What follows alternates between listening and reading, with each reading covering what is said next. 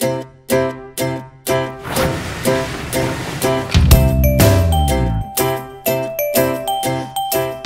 ัสดีค่ะ สวัสดีทุกๆคนค่ะแหมสัปดาห์นี้เรารู้ใช่ไหมคะว่าพวกเราเรียนเรื่องกันเรื่อง สัตว์โลกน่ารักนะคะลูกได้รู้ว่าสัตว์มีสี่ประเภทไปแล้วนะคะ เอ๊ะสัตว์เลี้ยงน่ารักเป็นยังไงนะคะ อ่าเรียนรู้กันไปเรียบร้อยแล้วนะคะ คราวนี้เราจะมาดูสัตว์ ที่เป็นอาหารกันนะคะ สัตว์ที่ใช้เป็นอาหารนั้นมันก็มีรูปร่างลักษณะที่แตกต่างกันใช่ไหมคะ มีที่อยู่อาศัยที่แตกต่างกันด้วยเดี๋ยวเราไปดูนะคะว่าสัตว์ต่างๆ เหล่านั้น มันอาศัยอยู่ที่ไหนบ้างค่ะ ตามเพื่อนไปดูค่ะ ตัวแรกของเรานะคะเด็กๆก็คือวัวค่ะ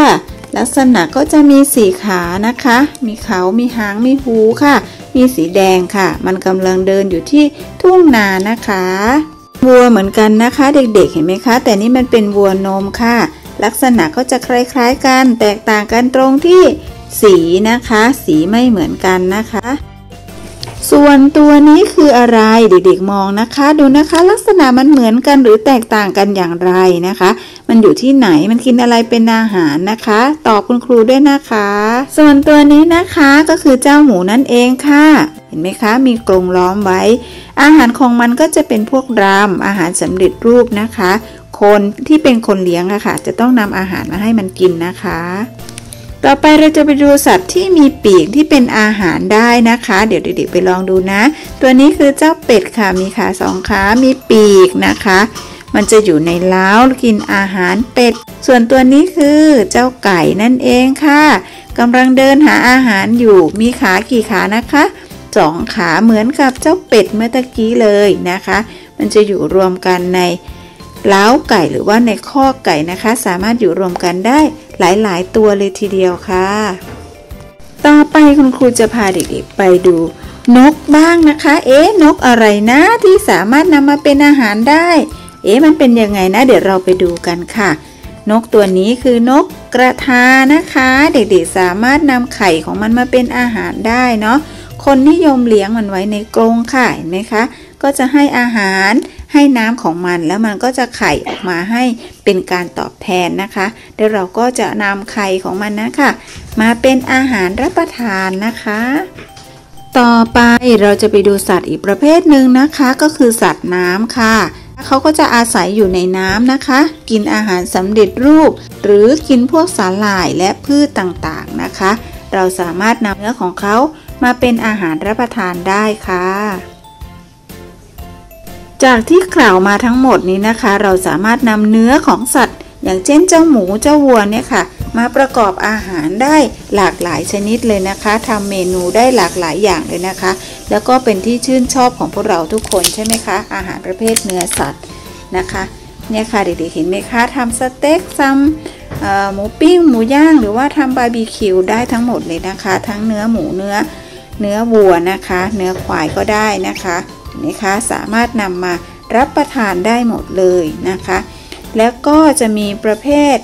เนื้อไก่นะคะ ต่อไปจะเด็กๆจะเห็นนะคะ เป็นเนื้อไก่ ที่สามารถนำมาประกอบอาหารได้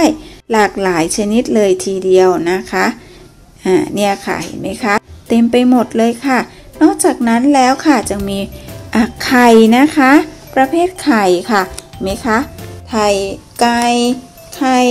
เป็ดมาประกอบอาหารได้นะคะ พวกเราก็นิยมรับประทานนะคะ ลูกทานแล้วลูกก็มีประโยชน์มากๆเลยนะคะ อย่างเช่น ไข่นกกระทาก็เช่นกันค่ะ ท้ายนมของวัวนะคะนำมาดื่มได้มีประโยชน์มากมายนะคะ ถ้าใครแพ้นมวัวก็ไปดื่มนมควายแทนนะคะ ได้ทั้งนั้นเลยนะคะ คราวนี้เราจะมาดูข้อควรระวังในการรับประทานโปรตีนจากสัตว์เหล่านี้นะคะ ถ้าเด็กๆทานที่มันมีไขมันมากเกินไปจะเป็นยังไงนะคะอ๋อจะทำให้เราตัวอ้วนขึ้นใช่ไหมคะ เอ๊ะถ้าเราทานปลาล่ะคะ ทานปลาข้อควรระวังคือ เราจะต้องดูเรื่องของก้างปลานะคะ ไม่ให้มันติดคอนะคะ ควรจะมีผู้ใหญ่คอยดูแลอยู่นะคะ เอ๊ะแล้วอาหารเหล่านี้นะคะ จะต้องรับประทานที่มันสุกนะคะปรุงที่มันสุกใหม่ ๆนะคะ ถ้าเราไปทานอาหารที่มันดิบเอาเนื้อสัตว์ดิบๆหรืออสุกๆดิบๆมารับประทานอาจจะทำให้เรามีพยาธิได้นะคะ เอาล่ะเดี๋ยวคุณจะพาเด็กๆไปทำอาหารบ้างแล้วล่ะค่ะเด็กๆเตรียมตัวนะคะ เราไปทำอาหารกันค่ะ ไม่ต้องงงนะคะ เด็กๆว่าเราจะไปทำอาหารกันที่ไหน นี่เลยค่ะ เด็กๆหยิบหนังสือ ทักษะเสริมประสบการณ์ขึ้นมาค่ะ แล้วเปิดรอคุณครูไปที่หน้า 17 เลยเจอแล้วใช่ไหมคะนี่ค่ะ หน้า 17 เลยนะคะอ่าทุกคนเอานิ้วมือน้อยๆมาชี้สิคะให้ทำอะไร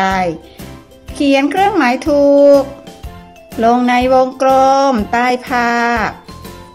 ที่ตรงกับวิธีการปรุงอาหารจากไข่ อีกทีหนึ่งนะคะ ลูกอ่านตามคุณครูค่ะ ขียนเครื่องหมายถูก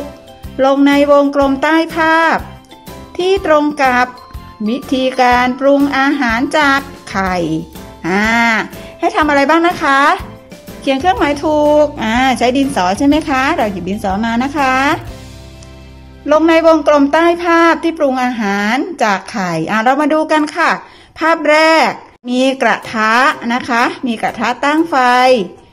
ใส่ น้ำหรือน้ำมันก็ได้นะคะ ในนี้คุณครูแอคิดว่าน่าจะใส่น้ำมันเนาะเสร็จแล้วก็นำไข่มาตอกใส่เข้าไปเลย เมื่อสุกแล้วมันจะกลายเป็นไข่ต้ม หรือไข่เจียว หรือไข่ดาวนะ อะไรนะคะอะไรนะคะอ่าไข่ดาวใช่ไหมคะ ใส่เครื่องหมายถูกต้องไข่ดาวเลยนะคะ ต่อไปเสร็จหรือยังคะเอ่ยเสร็จเอ่ยต่อไปเรามาดูข้อ 2 กันค่ะ นี่ค่ะ ตั้งกระทะใส่น้ำมันเหมือนเดิม แต่เรานำไข่ไปปรุงก่อนอ่าพอไข่ปรุงเสร็จแล้วเทใส่กระทะกลายเป็นไข่อะไรคะ ไข่ดาว ไข่ต้มหรือไข่เจียว เป็นไข่อะไรเอ่ยปรุงด้วยมีผักด้วยนะคะ ไข่เจียวใช่ไหมคะ ถูกต้องเลยค่ะเก่งยอดเยี่ยมมากๆเลยนะคะ ลูกอ่าต่อไปค่ะต่อไป เรามาดูข้อต่อไปกันเลย ข้อสุดท้ายนะคะ เอาหม้อมาตั้งไฟแล้วก็เติมน้ำลงไปนะคะ เมื่อน้ำเดือดเดือดเนี่ยค่ะ มีไข่อยู่ในนั้นด้วย แสดงว่าเราเอาไข่มาทำอะไรนะคะ เอาไปต้ม ผลออกมาจะเป็นไข่เจียว หรือไข่ดาวหรือไข่ต้มดี เป็นไข่อะไรนะคะ ใช่ค่ะ เป็นไข่ต้มลูกก็ใส่เครื่องหมายถูกเลยนะคะ เก่งมากๆเลยค่ะ ยอดเยี่ยมเลยค่ะเด็ก ๆ ใครที่เสร็จเรียบร้อยแล้ว เก็บไว้ก่อนนะคะ ถ้าไม่สะดวกถ่ายรูปส่งคุณครูไม่เป็นไรค่ะ เก็บไว้ก่อนเลย เดี๋ยวคุณครูจะมาตรวจทีหลังนะคะเอาละค่ะสำหรับวันนี้เด็กๆไปพักผ่อนได้แล้วค่ะ